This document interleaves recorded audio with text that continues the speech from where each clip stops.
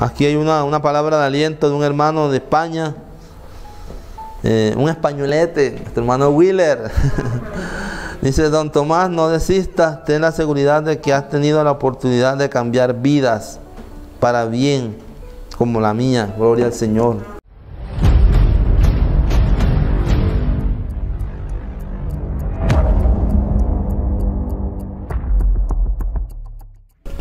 Dios les bendiga, hermanos.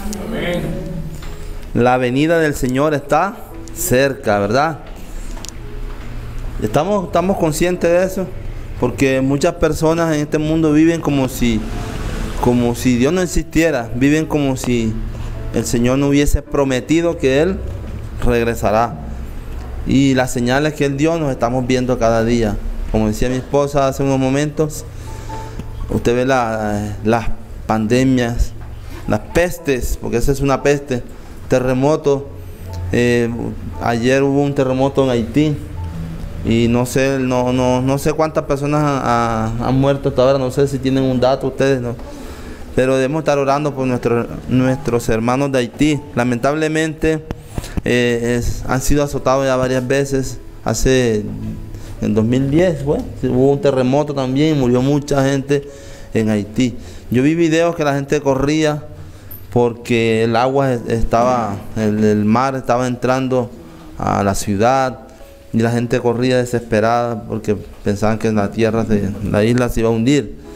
Entonces, eh, hermano, la venida del Señor está cerca. Es tiempo para alabar, es tiempo para adorar, es tiempo para buscar su rostro y tiempo también para servirle.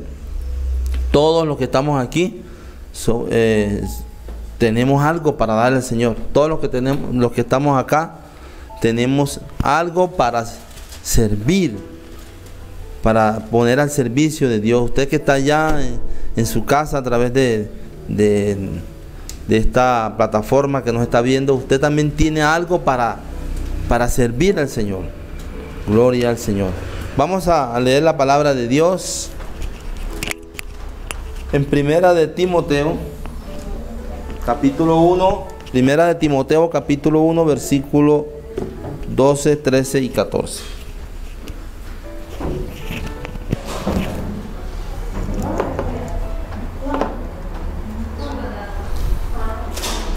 Gloria al Señor.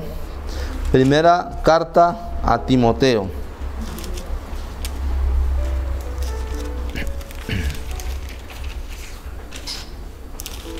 Capítulo 1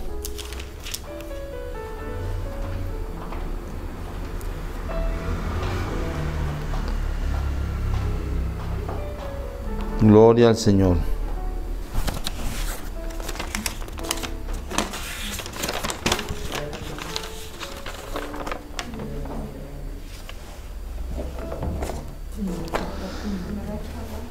Capítulo 1, versículos del 12 al 14.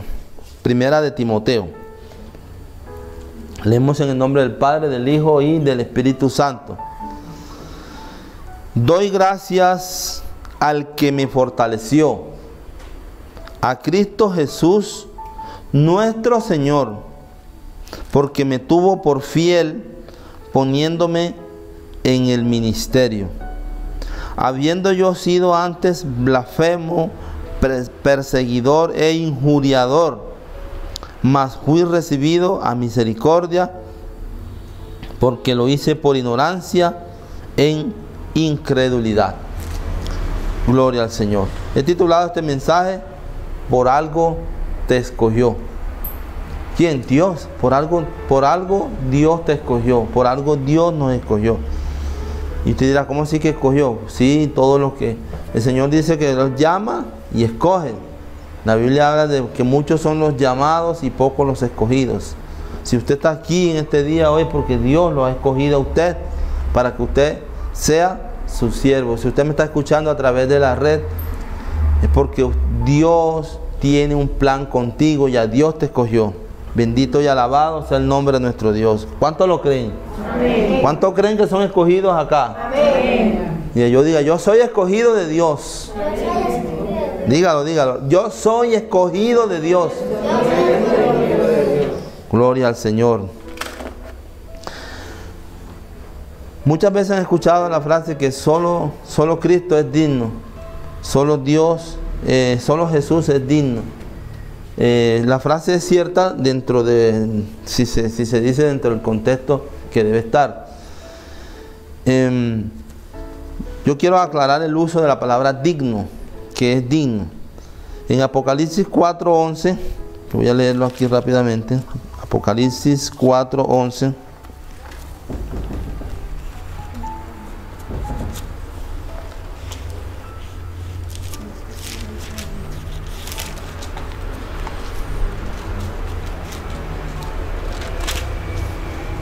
Gloria al Señor, bendito y alabado sea su nombre.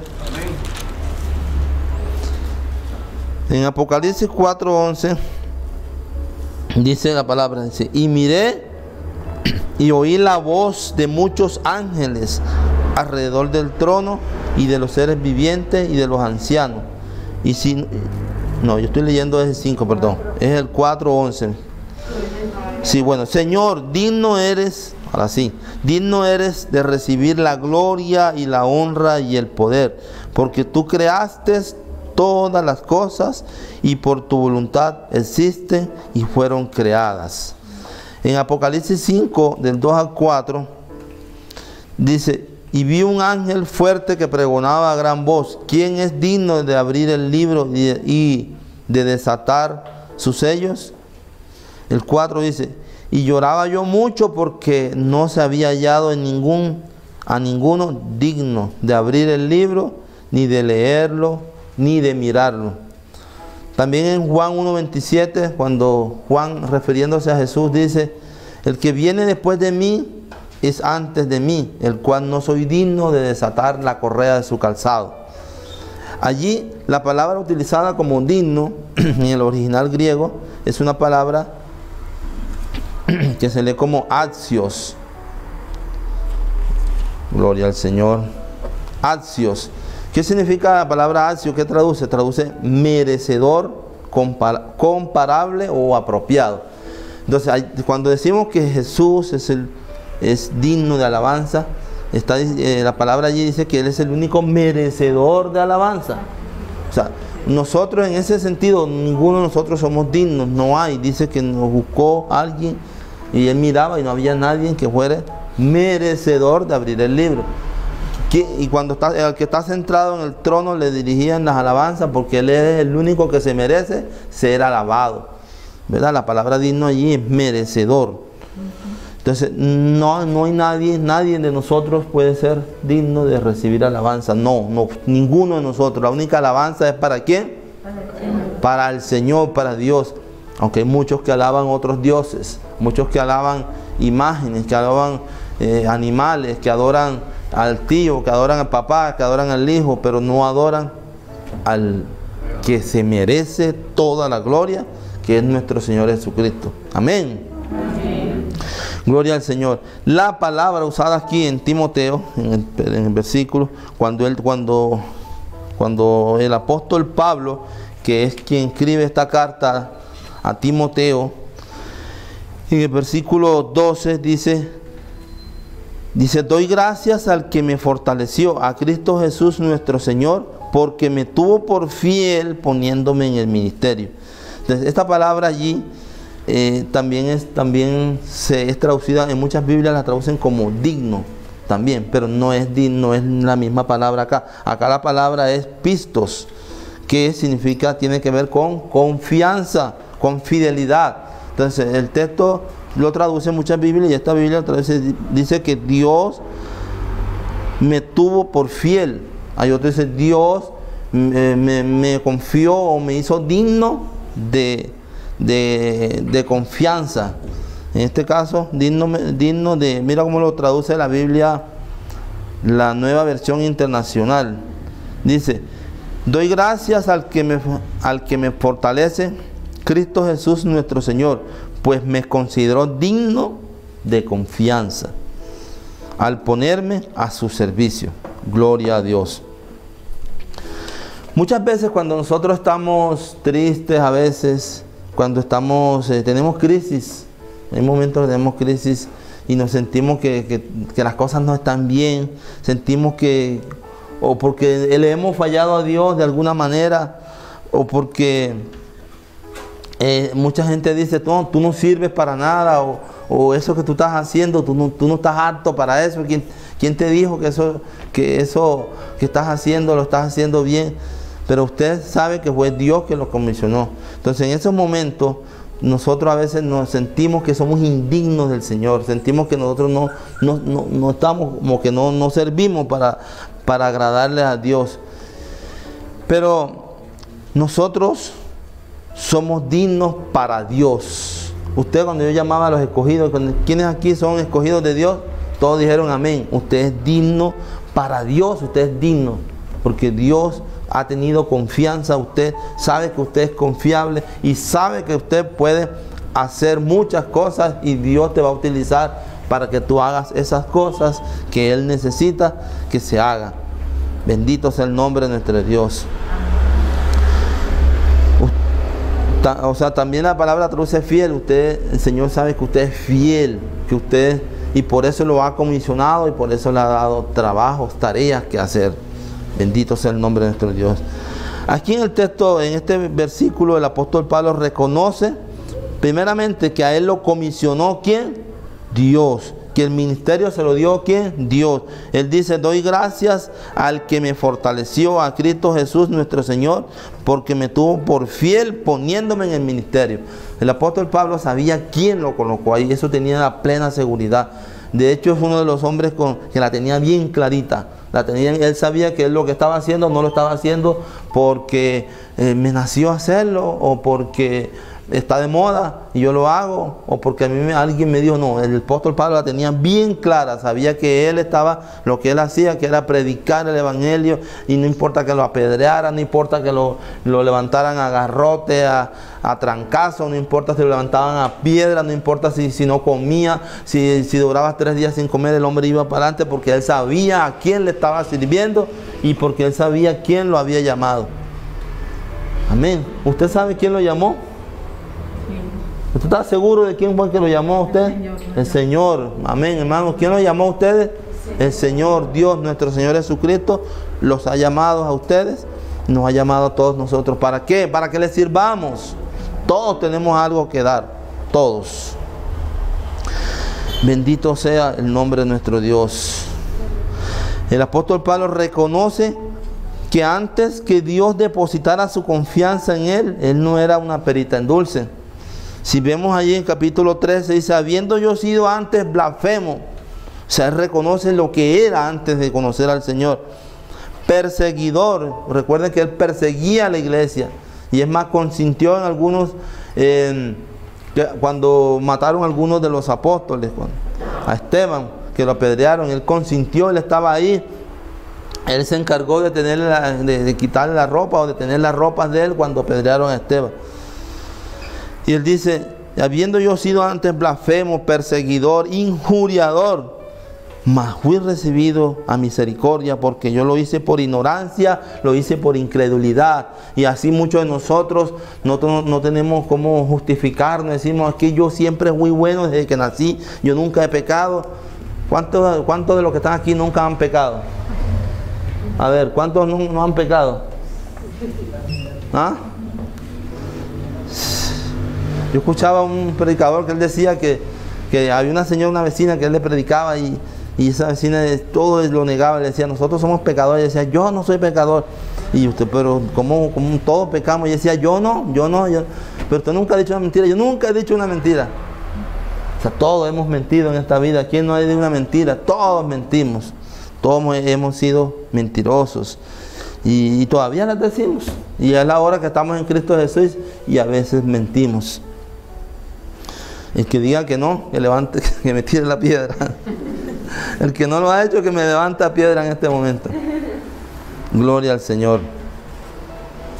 Ahora bien, el apóstol Pablo también reconoce que por la gracia de nuestro Señor Jesús, que es lo que es el, apóstol, que, ya lo reconocen, que Dios lo usa grandemente en poder, en sanidad, en milagros, en, liberaciones, en levantamiento de muertos porque el apóstol Pablo también oró y algunos muertos también revivieron. Dios lo usó grandemente y él reconoce que por la gracia en el versículo 14 eh, dice, pero la gracia de nuestro Señor fue más abundante con la fe y el amor que es en Cristo Jesús. Se fue la gracia, es por la gracia. Ninguno que está en los caminos del Señor está allí porque es que lo convencieron, le lavaron el cerebro. Nosotros no lavamos el cerebro a nadie. El que convence es el Espíritu Santo de Dios, el que da convencimiento de, justicia y de pecado. ¿Cómo se llama? El Espíritu Santo de Dios que nos ha enviado, que está aquí en la tierra, es el que nos, nos muestra lo, lo que realmente nosotros somos. Él es el que nos muestra que, nos hace ver que somos pecadores, nos concientiza de que tenemos que arrepentirnos. Es el Espíritu Santo de Dios quien está aquí en la tierra ejerciendo ese ministerio y obrando en nuestras vidas. Amén, hermanos. Gloria al Señor. Entonces, muchas veces, no sé, a veces decimos, Señor, yo no soy digno, yo no soy digno de ti. Yo quiero decirte algo, o sea, Dios te escogió y Él vio en ti algo que las demás personas no pueden ver. Tú tienes cosas para dar para, ser, para el servicio de Dios. Nosotros somos dignos para servir al Señor, no para buscar un puesto, no para que nos tengan, que nos alaben. Mire el hermano, no, para servir al Señor. Y hemos sido llamados para eso. Y todos somos escogidos, somos instrumentos en manos de Dios. Mire, en Hechos capítulo, yo voy a leerles en Hechos capítulo 9 versículos 10 al 16.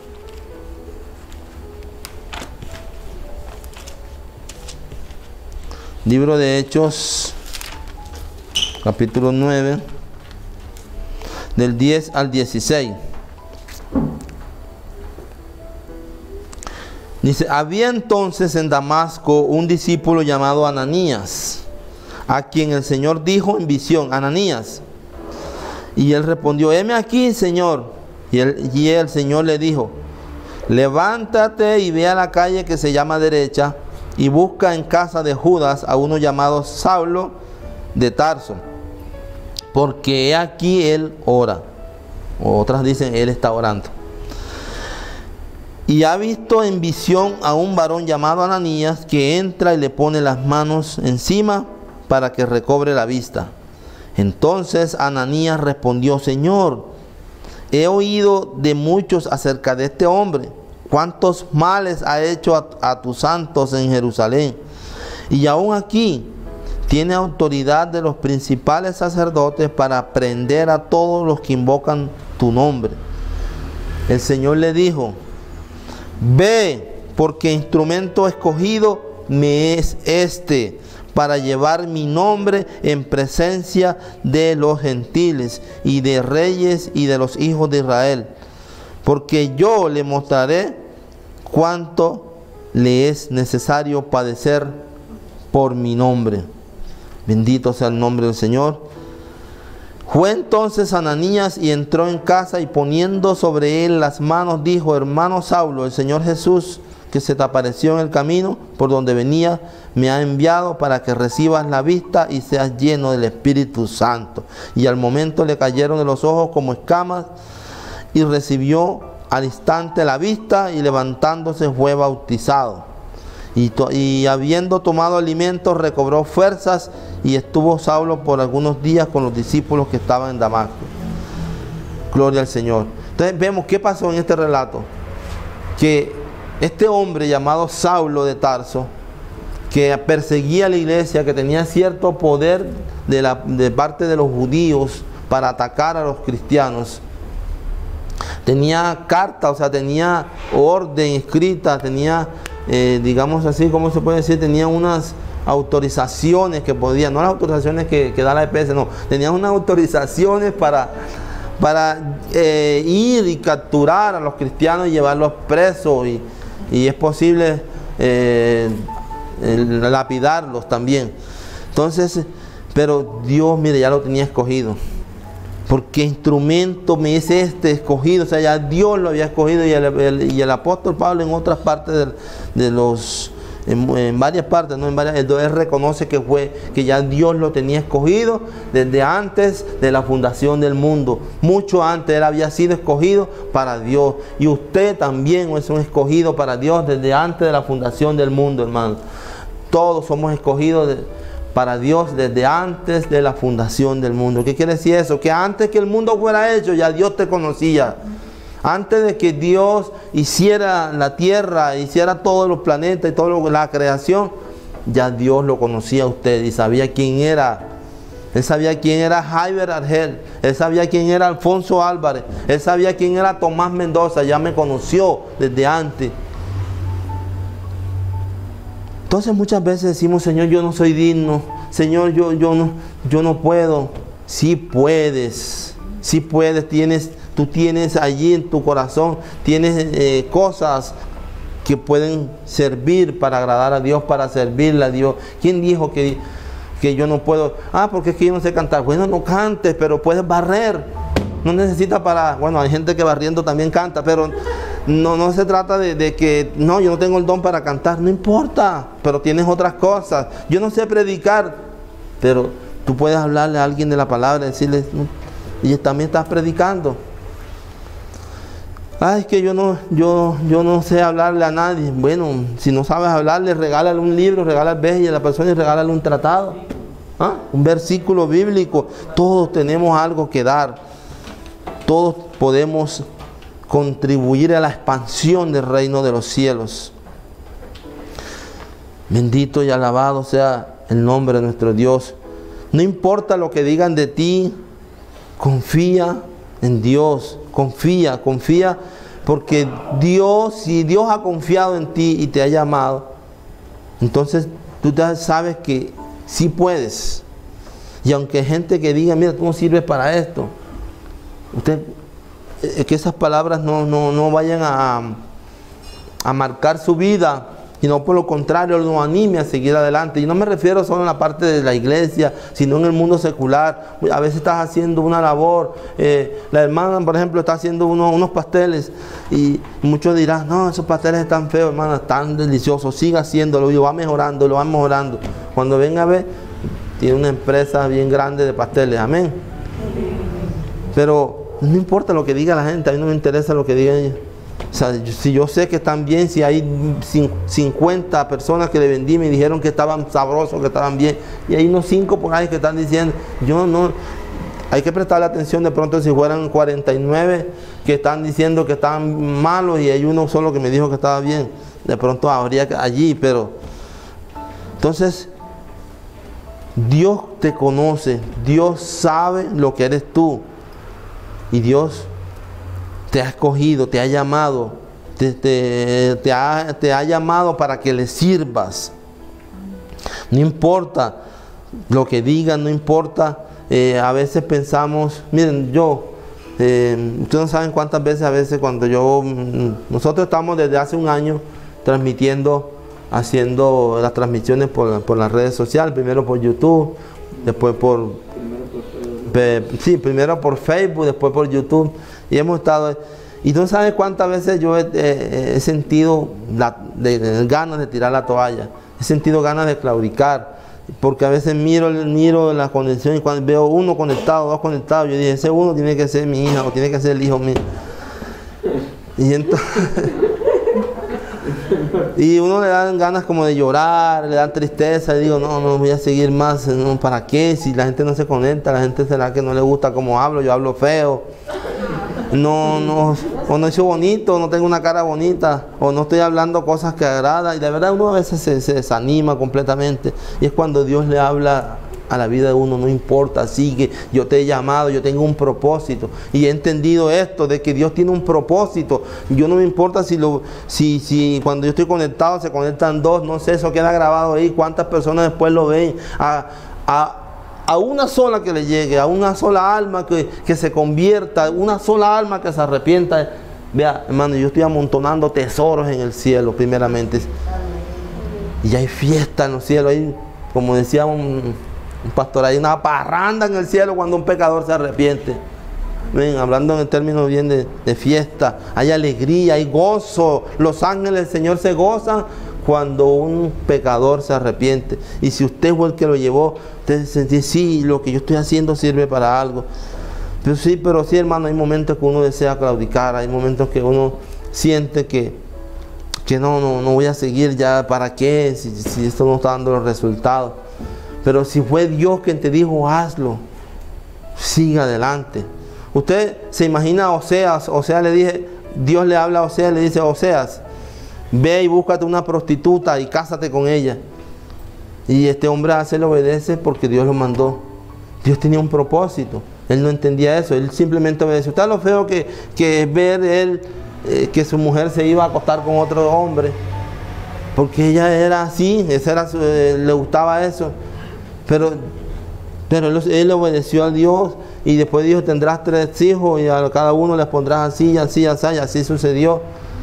Él simplemente obedecía. Lo que Dios quiere hacer, no lo sé. Me dijo, ve a esto, yo lo hago. Que la gente, ah, mira, que el profeta de Dios ve casado con una prostituta. A mí no me dice, a mí me mandó Dios que lo hiciera yo lo hice. Entonces hay cosas que a veces Dios nos manda hacer a, nuestra, a, nosotros. Pero no, está en nosotros eh, el decir, eh, o sea, el, el, fruto que, que puede dar esa acción que estamos haciendo. Eso depende de Dios. El fruto, Dios es el que va a, va a hacer las cosas.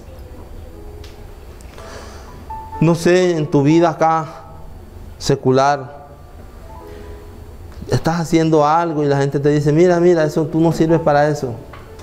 ¿Para qué haces eso? Tú no sirves. Sigue cantando, sigue haciendo, sigue obrando, sigue, no sé, lo que estés haciendo. Dije cantando porque estaba, me vino a la mente eh, un personaje que no es cristiano, y voy a hablar de él, el reconocido vallenato eh, en la costa, Diomedes Díaz. Cuando estaba joven en, la música, la gente le decía, tú no sirves para eso, ¿eh? tú, tú cantas como un chivo, le decían. Pero el hombre no se, no se amilanó, no se, ¿cómo se dice? No, se echó atrás, no, no, yo no sirvo, no siguió, lo siguió intentando y después ustedes vieron el éxito en el mundo musical. Lo de su vida personal ya ese es otro cuento. Gloria a Dios. Así hermanos, quiero que sepas que Dios te conoce, que Dios sabe lo que hay en ti, que Él, ven, Él ha visto en ti lo que otros no pueden ver. Y está lleno de cosas para servir, para servir a Dios. Así que has sido escogido, tú has sido escogido por Dios para servirle a Él. Si te has fallado a Dios, tú siempre, Dios te dice, no te preocupes, si ya arrepiéntete, no lo vuelvas a hacer más y levántate y sigue adelante. No es que hay gente que, que sí pecar y comienzan a llorar y a llorar y pasan llorando, pero no, levántese, ya está bueno, ya, ya lloró, vamos, Vamos a trabajar, vamos adelante, sigue adelante, dice el Señor. Y con Cristo lo vamos a lograr. Recuerden lo que dice en Filipenses 4.13. ¿Cómo dice Filipenses 4.13? ¿Cómo? Fuerte, fuerte, a ver. Que se escuchen los que, hermanos que están escuchando. Todo lo puedo en Cristo que me fortalece. Él conoce tus debilidades. Él conoce tus fortalezas. Nosotros en sus manos somos un especial tesoro. Recuerda que Dios tiene planes para ti. Recuerda que Dios tiene grandes cosas para ti. En esta vida y en la otra. Bendito y alabado sea el nombre de nuestro Dios. Vamos a, colocarnos de pie.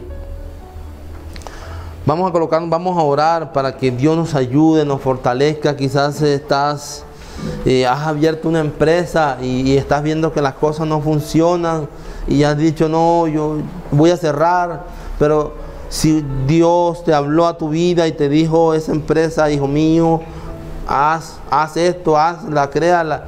Señor está contigo y aunque veas en el momento dificultades, no te preocupes, no te preocupes que Dios está en el asunto y vas a ver la gloria del Señor, la vas a ver. Tienes que tener paciencia. Bendito y alabado sea el nombre de nuestro Dios. Ese negocio, mi hermana, mis hermanos que ustedes han puesto, Dios está en el asunto. Eso nació en el corazón de Dios. Ustedes oraron, ustedes le pidieron a Dios y el Señor les puso eso en su, en su mente, en su corazón para hacer. Dios los va a ayudar. No importa si en el momento las cosas no están funcionando. Cree, solamente cree. Padre que estás en los cielos, Señor, te adoramos, te bendecimos, te exaltamos.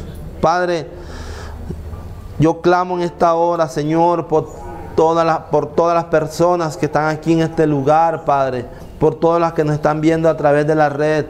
Oh Dios de la gloria, oro Padre Santo para que tú les animes a seguir adelante, para que se levanten y sigan adelante. Oh, oh Dios de la gloria. Oh Padre Celestial, que podamos estar como el apóstol Pablo, convencido de que Dios es el que me ha dado todo lo que tengo y que me ha dado el ministerio, que me ha dado todo lo que, eh, lo que estoy poniendo al servicio de Él. Que Dios nos dé ese convencimiento en esta mañana. Que Dios Oh Dios, Señor amado, bendito Dios, nos dé, Señor amado, esa fortaleza para seguir trabajando, para seguir esforzando, aunque no veamos resultados. Aunque las cosas no parezcan bien a nuestros ojos. Mi esposa decía al comienzo que Dios llama las cosas que no son, citaba ese texto, que no son como si fuesen. Y usted también va a citar ese texto. Y usted va a decir a las cosas que no son como si fuesen. Usted dice, tengo una empresa que está produciendo muchísimo, así su empresa no esté produciendo nada, usted lo va a repetir, lo va, porque usted lo va a decir, con, lo va a decir eh, creyendo. Dios amado, fortalece a mis hermanos, Padre. Ayúdalo, Señor, te lo estamos suplicando, Padre amado. Oh Dios de la gloria, Padre celestial, Dios todopoderoso. Señor amado, a veces queremos claudicar, Señor, nos sentimos sin fuerzas, Padre. Sentimos que estamos trabajando en balde, que estamos echando en sacos rotos, rotos todo nuestro trabajo y nuestro esfuerzo. Pero, oh Dios de la gloria, tú eres bueno, Señor, y tu misericordia para siempre. Y creemos, Señor amado, que tú estás en el asunto. Creemos, Señor amado, bendito Dios, Oh Padre, que tú nos llamaste y nos has escogido. Aunque éramos pecadores, aunque hacíamos cosas malas, aunque hacíamos cosas, Señor, que te desagradaban, Señor amado, bendito Dios. Hoy, Señor amado, bendito Dios, te hemos conocido. Hoy, Señor, te hemos... Eh, hemos conocido de tu poder, de tu gloria, de tu bondad y de tu amor y de tu misericordia, Padre. Padre, muchas gracias. Dele gracias a Dios por todo lo que usted quiera agradecerle a Dios. Gracias, Padre. Es un momento para agradecer al Señor. Agradece al Señor allí. A muchos acá le ha dado la salud. A mí me ha dado la salud, me dio corazón nuevo, riñones nuevos, vida nueva y muchas cosas nuevas. Y mejoró las anteriores. Oh Dios de la gloria, Padre Celestial, bendito y alabado sea tu nombre, Padre. Tú eres bueno, Señor. Oh Dios, gracias, gracias mi Señor, gracias Padre. Porque a través de la sangre derramada de nuestro Señor Jesucristo, tú nos escogiste, tú nos limpiaste y nos, has hecho, nos has hecho libre de todo pecado. Oh Señor amado, bendito Dios. No te importó, Señor, las cosas feas que hacía antes, Señor no te importó. Tu misericordia fue superior a todo eso, Padre. Gracias, Señor. Gracias, Padre, en el nombre poderoso de Jesús. Oh Dios, gracias, gracias, gracias, Señor. En el nombre poderoso de Jesús. Amén. Bueno, pueden sentarse, amados hermanos. Dios es bueno y su misericordia para siempre. Les recuerdo a ver, vamos aquí a una... Gloria al Señor. Aquí hay una, una palabra de aliento de un hermano de España. Eh, un españolete, nuestro hermano Wheeler. Dice, don Tomás, no desistas, ten la seguridad de que has tenido la oportunidad de cambiar vidas para bien, como la mía, gloria al Señor. Eso es lo que uno espera, hermano, esa es la recompensa de uno. Gloria al Señor, esa es mi recompensa. No espero más en la tierra, sino que eh, ver almas cambiadas, personas que hoy en día eh, están tirados ahí en el suelo, la miseria total y que un día nos vea uno alabando al Señor. Eso es maravilloso. Gloria al Señor. Gloria al Señor. Recordarles eh, los días miércoles a través de la plataforma de YouTube. Nosotros tenemos un tiempo de oración. Si usted no, si usted, usted puede conectarse a través de su celular, no tiene que ir a ninguna parte. Simplemente busca Centro Bíblico Vida Nueva Medellín, escribe en YouTube y ahí le aparece y puede o nos puede escribir a través de mi WhatsApp, ustedes ya lo tienen, lo conocen. En mi número, pues escríbame allí y me dígame, por favor, me mandan el link, hermano Tomás, yo le envío el link para que ustedes se puedan conectar. Los días miércoles estamos, eh, o sea, es abierto, usted se mete allí, lo encuentra los días martes y viernes, es para es tiempo de oración entre nosotros mismos. Entonces, les invito, digan, hermano Tomás, envíenme cómo es la página, envíenme y yo les envío todo para que ustedes puedan conectarse, para que puedan ver los videos que están allí, la música. Allí hay muchas eh, canciones de mi hermano Alfonso, hermano Jairo, que fueron grabadas en la iglesia, están allí montadas. Eh, por ahí me dice, me dice nuestro técnico de cabecera que hay una, hay una canción que está llegando ya a los dos millones, dos millones, no, al millón, al millón de usuarios, de, de vistos. Entonces, gloria a Dios por eso. Todo eso fue hecho para servir al Señor, fue hecho con, fue hecho con, con humildad para servir al Señor, no buscando dinero, no buscando eh, que la gente nos vea, no, que, que la palabra llegue a las vidas. Que Dios los bendiga, que Dios los guarde a todos. Bendiciones. Gloria a Dios. Gloria al Señor.